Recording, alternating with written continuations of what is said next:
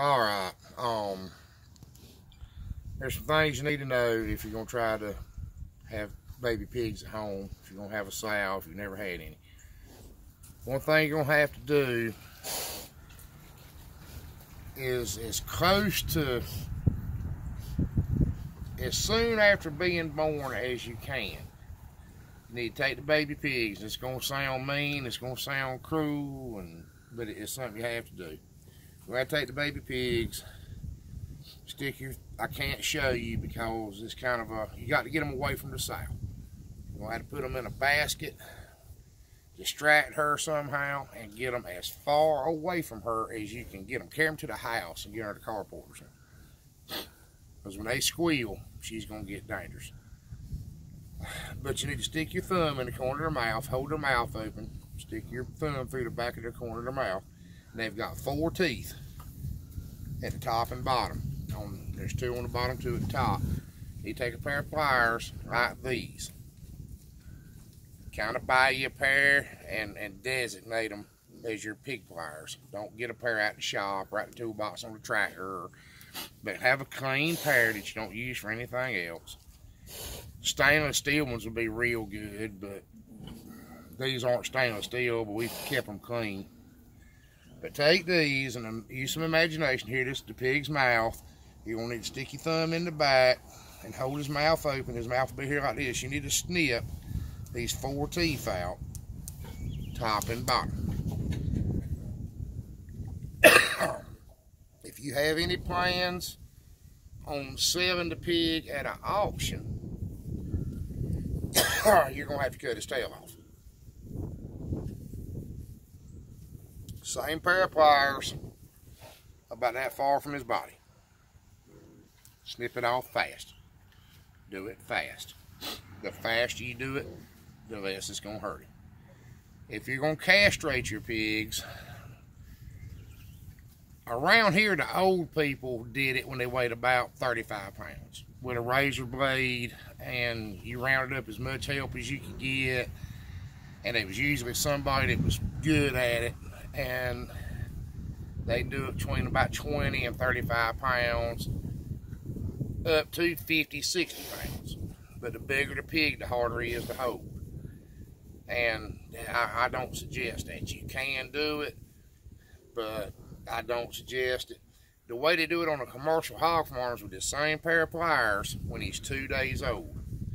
You flip the little pig over his butt's right here you take his thumb press the press his testicles up, snip, snip, two slices in the skin, push them out of the hole, pull them out, cut them off like that. I would do a video on how to do that, but we're not planning on cutting any of these boar pigs. I'm going to try to sell them as intact boar breeding, breeding stock. I'm not cutting the tails off these pigs because we're going to try to sell them for breeding stock. They're full-blooded breeding stock, and that's what I'm going to try to sell them for. But if you're... You need to cut the milk teeth out. If you don't, and some sows it won't bother, but some it will, they bite the nipples when they're nursing they'll get sore. Sow won't let them eat, and they'll starve to death. I mean, you've got to do it. I know it's going to sound cruel, and it's going to hurt your feelings when you do it, but you've got to do it. Docking their tails. If you do not dock their tail, you cannot sell them at an auction. If you're planning on possibly having to sell part of them at the auction, they will not take them with a tail. The tail has to be docked. Uh, castrating them. If you don't castrate them, I don't think they'll take them at the feeder pig sale and if they do, they're not going to bring anything. Uh, something else I want to warn you about. Piggy here. Me and Piggy are friends. Uh, Piggy likes me and I like Piggy, but Piggy tried her absolute best to kill me the other night. Uh, she laid in that farrowing stall wrong. Had her butt pushed up against boards where she couldn't have the pigs and I had to move. Right, I have a choice. I had to get her to move. And she tried her, when I finally got her up, she tried her best to kill me. And it was 3 o'clock in the morning. It was in the dark with a flashlight. It just, it was a bad deal. So, so what you say? your old sow that's always been easy to handle, you and her are just the best of friends. When she's having pigs or after she has pigs, she don't like you anymore. You're just a monster just making her pigs squeal. And when those pigs go to squealing, there's nothing that'll stop them. If you can get far enough away, you're fine. But don't don't put those pigs in a basket and bring them right here and say, well, I'm going to trim this little pigs right here and that fence is going to stop her because it will not do it.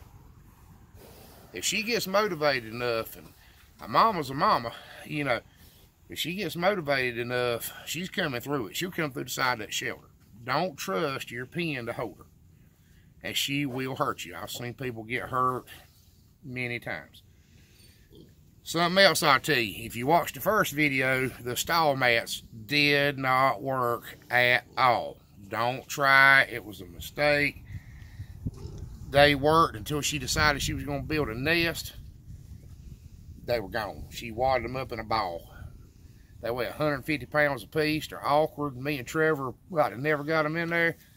She pulled them out, tore them up. I mean, we had to get right before she had to pee, She couldn't lay down. We had to go in there and take them out, pull them out in the dark. Uh, sign she's fixing to have. Uh, we talked about this in the last video, but in case you didn't watch it, the biggest one that's going to be your dead giveaway is she's going to dig a hole. She's going to do everything within her power to dig a hole. And uh, that's going to happen right right before she has them. She may be a little listless, lay around a little bit the day before. You'll see some milk show up. The closer they, her, she may actually start dripping some milk right before she has them, but most time it's digging the hole is going to tell the tale. She's already laid on one pig. We had 11. She's already laid on one. They will lay on them what we've done in here with the boards around the sides helps. And that's something I'm going to touch on right quick. I got to watching YouTube the other night. And uh, same thing y'all do. I was going around looking ideas. I said, well, let me watch some of other people's videos and I'm going to see how they did things. Well, somehow or another, I ended up watching a video on the new farrowing crates they're using in Australia that are different. They're not like the American ones that are a piece of stain, that are stainless steel pipe and it's, it's you got a sow size hole in the middle and each side's open for the pigs. All she can do is stand up and lay down. She can't turn around or anything. And I went to reading the comments. I started commenting on some people's videos um, because I want people to comment on mine, you know, and I guess that's what you do. If there's anything I can say constructive, most time I won't put anything negative in one. You got to be a real dummy for me to put anything negative in your comments. But uh, there was people down there talking about farrowing crates, how cruel they were, and just inhumane and the worst thing ever, and they should be outlawed. And but the truth of the matter is, if you had a commercial hog farm, if you didn't use a farrowing crate, you'd go out of business. And there was one genius down there that said uh, it's a myth that sows will lay on pigs. Well, I wish he'd have been here today because I'd show as the world made him dig that hole to bury the one that she laid on last night. Because they do do it. The last litter we had, she laid on all of them. But three. But three. In one fell swoop, we had 11 or 12 pigs.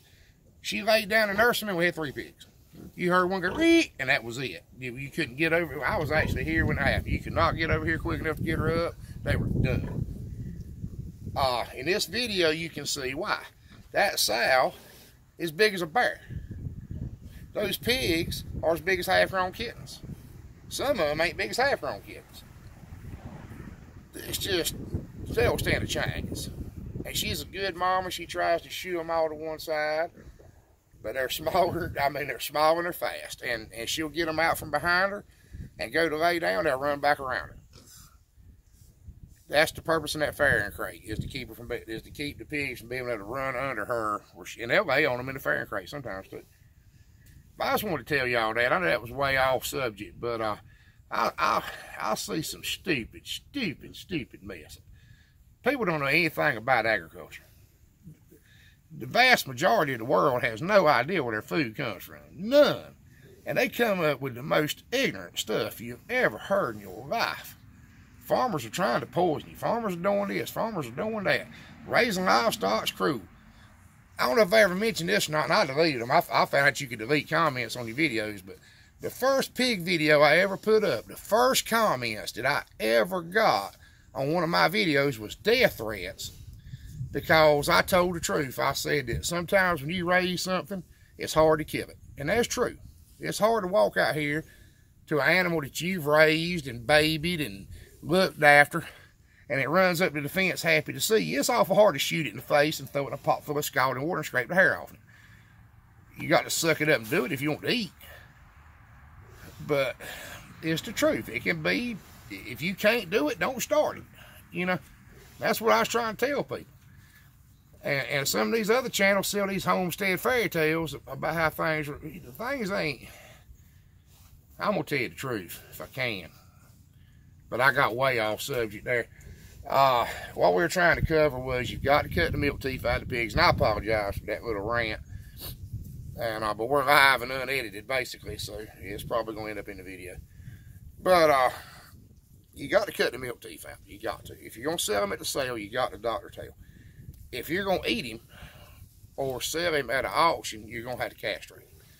We'll do a video on castrating some pigs, and I'll do a video on trimming some pigs. But these, the only thing we did to them was break the teeth out. Their breeding stock, as a general rule, breeding stock keeps the tail. Uh, it's just it's just the way it is. Uh, if you notice my gilt over here, she was docked and notched. She's yeah, laying like down. Older video, we had to walk in her and get her and everything. Anyway, she's had her tail docked. She has, she's had her ears knocked. And something else I need to hit on right quick. I bet a lot of people don't know this. And I don't know about every state, but in North Carolina, for a pig to travel on the highway, for you to put that pig in a trailer and take him down the highway, he has to have a tag in his ear from your farm with your farm number on it. You got to go to state they got to give you a little card to put in your pocket that says you got some hogs, that you're a hog farm, number such and such. Don't matter if you got two pigs. Um, but they're gonna give you a little card. And they're gonna they give them to you. They're free. The guy will come out here one day on one of them little white state trucks that we love so good, and he'll pull up and he'll walk out here and he'll kind of inspect your facilities, and uh, he'll give you a tagger, and he'll give you some tags. But the catch is the catch is, if you don't put that tag in that pig's ear, and the game warden enforces it. We all know how game wardens are. State trooper might let you off every once in a while, but game warden don't. They catch you on that pavement, away from your farm with that pig on the trailer, they're going to write you a $5,000 per pig fine. And they're going to say that you were transporting feral pigs. And I've said in some other videos, there's some stupid laws, there's some stupid zoning restrictions, uh, stupid agricultural restrictions. Check on them, because because like that pig thing, you can ask the sheriff's deputy about it, he don't know. But then I've got a friend of mine that decided to take two pigs to the slaughterhouse, got stopped halfway up, there was a $10,000 fine, and as of today, he ain't got out of it. He's going to have to pay it and he does not have $10,000 and common sense does not enter into it. You can't say, well, I raised these pigs. I'll take you to the house and show you where I raised them. Common sense don't enter into it. Uh, to me, a game warden that couldn't tell the difference between a feral pig and a, and a tame pig probably don't need to be a game warden. But that doesn't enter into it. But that's the kind of stuff that'll get you in trouble. And, um, the, like I said, we'll, we'll rehash some big things because I, I cover stuff in other videos that pro people probably haven't watched. I know we get new people watching this and they don't go back and look at those ones. But uh, remember that sow's going to be you. She's going to be hard to deal with and she'll hurt you. Ain't nothing you can do about it. You can't fight her off. I'm a big guy. I weigh 300 pounds, but I can't fight that sow off. I can't do it. Uh, you got to cut the milk teeth. We'll do the video on trimming pigs when we have a litter we're going to trim. Our next litters that we have are going to be just straight mixed up meat type hogs and they're going to have to be cut. I may even doctor tails. Uh, we tend to leave the tails on them just to kind of show that they're not hog house hogs. Um, hog economics. Let's uh, let's go out with hog economics here. Here's the sad truth about that. And uh, we've been making our own feed. And I buy some feed still when I don't have any corn ground or we find out we're out of feed. My little boy will tell me that we're out of feed right at dark. And I'll just send my wife to the mill to get a bag or two but to get by. But uh, the truth of the matter is, if you're trying to raise pigs, it's going to take eight out of that litter. If I get the price I want for them now, you got to understand that. If I don't kind of get stuck with them and kind of half give them to somebody to get rid of them or I ain't got to feed them. If I get the price I want for them, it's going to take eight of those pigs just to pay for feeding the sow and the boar for long enough for her to have them.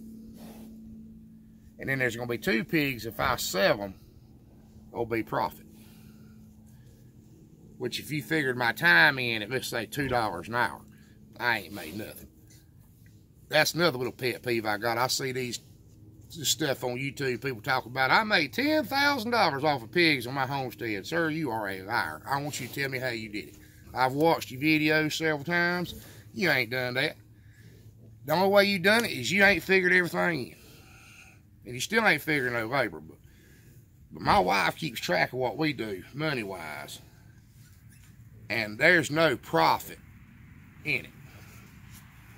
And the moral of that story is when you go to the to somebody's place to buy a couple feeder pigs and they tell you they want two dollars a pound for them, man ain't making no money at two dollars a pound. He ain't making no money. Uh, now there may be some alternative ways of feeding them, feeding them scraps, slops, uh, hogging down cornfields and stuff that, that may help a little bit, but it's not going to help that much. If you figure in everything, facilities, fuel, equipment, if you really keep track of all of it, you, you ain't making nothing. The only way you make money with pigs is numbers If you got two sows in the backyard, you ain't going you're not gonna make much profit.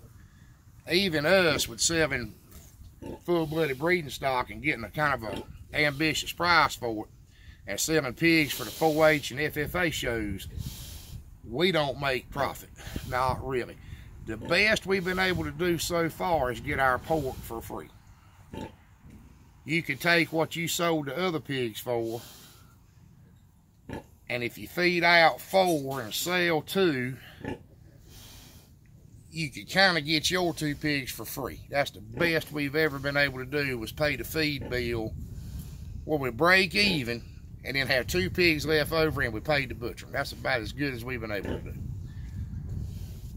And then you'll ask yourself, say, well, Chris, why do you raise pigs? And the short answer is I'm probably crazy. That's what my wife tells me anyways, that I'm at least mildly insane. But the truth is, the reason I do it is because nobody else does. Raising hogs is a tradition. It's been a tradition around here for 100, 200, only 250 years probably. Just my family. And at some point, the older men that were raising pigs that I was buying pigs from quit. Their health got bad, just the reality, there was no money in it, finally caught up with them, and they quit. And what has happened with that, this is something else I need to cover right quick. I'm not trying to make this video hour long, but uh, what's happened with that is the quality of the pigs that you get off the ground now has gone down considerably.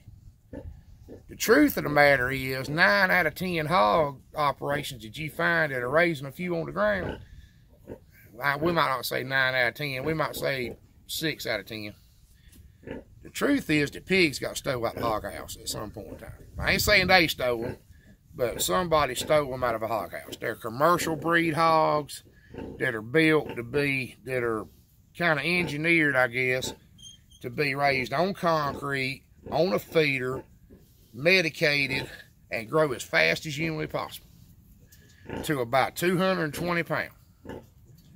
They go from zero to 220 as fast as a race car and kind of style out. That's as big as they're going to get them.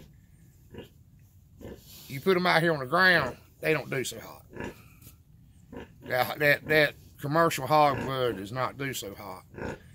And I'm lucky enough that I had a neighbor down the road, a friend of mine, that had the old timey hogs. They had been raising hogs since time immemorial.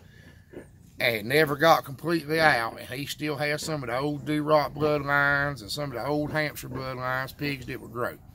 And I've showed you before the difference between some hogs with a little hog house blood in them and uh, my old timey hogs. But they do good on dirt. Now these two red pigs over here, if you put them in a hog house, I'm sure they'd be knocking the, they'd be knocking records out. But out here on the ground, feeding them with a feed scoop, not a, a feeder, and not feeding them feed that's directly engineered for that hog at every little stage of growth, and they check a few of them and up the protein and up this and up. They just don't. They don't do as good. Ah, uh, that's just ask me being as honest as I could possibly be. But I'd love to see some more people get into raising pigs. Actually raising pigs. It's dying out. Nobody does it. I think I've covered the reasons why nobody does it, and it's kind of sad. The old heritage breeds are dying out. The only ones that are getting gaining in popularity again is the stuff people didn't want 50 years ago.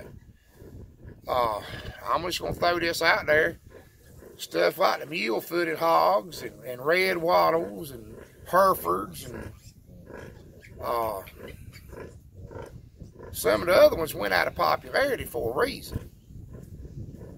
They just they didn't they weren't as good as as like the Hampshires and Durocs and Yorkshires and spotted Pomeranians and you know, a few of the Tamworth was a good Landraces were, got popular in the 60s. But uh, I grew up with commercial hog farming in a small farrow to finish operation. Prior to that, my daddy was a commercial hog farmer on the ground. Over here, our care pasture, all the way up this hill was, was sows. They raised them on the ground. Uh, they used to, uh, excuse the gunfire. We've got some nut down the road and around the corner here with a, sounds like a Tommy gun. But used to have shelters. We'd have sows just, daddy'd miss something a little bit and they go to having pigs in a snowstorm. We're going to put shelters up over top of them. I remember the, I remember the raising hogs on the ground commercial. But it changed. It went to confinement livestock. Now that's trying to go back to raising them on the ground. But if you just remember that for me, if you go to buy a pig for somebody, you think he's asking an outrageous price, just remember what he's got in. Remember on top of all the money that he's probably got all night sitting out there with the sow that had the pigs, that he might have had to breed the sow two or three times to ever get her the cash. That's what happened to us here. And it can be a little difficult. It ain't easy. But I would like to see more people get into raising them, actually raising them, where there'd be some available. And I believe that's about all I got I can tell you. It'll help you in it all. Just remember, you'll never plow a field but turn it over in your mind. And if you want to do this stuff, you can do it. I mean, it ain't a, uh, it ain't that hard. We're still learning. I've been doing this since I was a little boy, and I'm still learning. I'm still improving on what my daddy did. I'm I'm still improving on what my granddaddy did. I'm I'm still trying the next big thing that don't really work. I'm still doing what state college and extension office tell me. It don't really work. And going back to the way I was doing it. Um, you know, it is what it is, but we'll talk about hog feed on another video. We got to have a talk about hog feed. We got to have a talk about corn and soybeans. Um, we'll save that for another time. Happy New Year. Thank you for watching. Have a good one.